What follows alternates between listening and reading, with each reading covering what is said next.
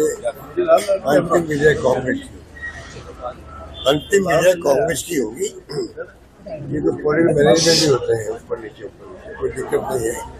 सरकार बनेगी कांग्रेस की कांग्रेस जीतेंगे। सर धीरे धीरे अपन देख रहे हैं धीरे धीरे परिवर्तन हो रहा है जो विचारधारा बदलती जा रही है। अगर बात अभी पिछले विधानसभा लोकसभा चुनाव के बाद जनता का भी मानस बदल रहा है। चमक उतर रही लोगों की। दस साल से दस साल से कर रहे थे ना। चमक उतर रहे है लोग समझ गए सच्चाई है ये लड़ाई पूरी जो राहुल गांधी जी ने कहा था, लड़ाई ये विचारधारा की है। कोई व्यक्तिगत कोई द्वेष नहीं।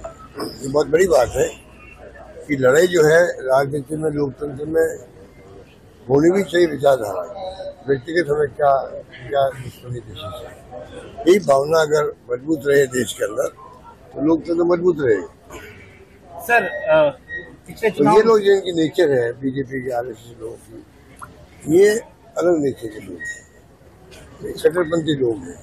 ये पीछे पड़ते किसी के तंग करने के लिए बेकसूर लोगों को निर्दोष लोगों को उनको भी तंग करते रहते हैं। हम सत्ता में आते हैं तो चाहे बीजेपी का हो आर एस एस का हो।